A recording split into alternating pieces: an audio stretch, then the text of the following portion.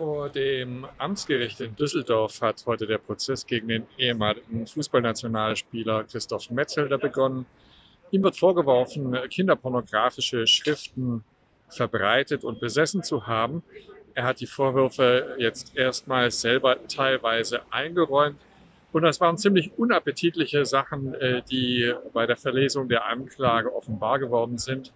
Es ist immer wieder die Rede davon gewesen, dass Kinder unter zehn Jahren äh, auf Bildern zu sehen gewesen sind, äh, wie sie mit Erwachsenen zum Anal- oder Oral- oder Vaginalverkehr aktiv gewesen sind. Es hat nach einer kurzen halben Stunde eine Unterbrechung gegeben und die Parteien haben versucht, sich zu einigen.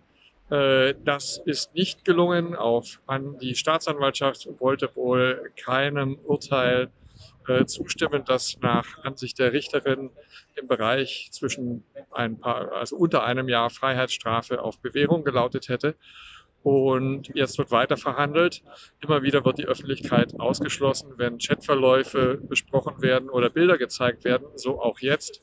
Äh, wie lange das heute noch dauern wird und was am Ende dabei herauskommt, das steht noch nicht fest, aber mit einer Verurteilung äh, zu einer Bewährungsstrafe wird man wohl rechnen müssen.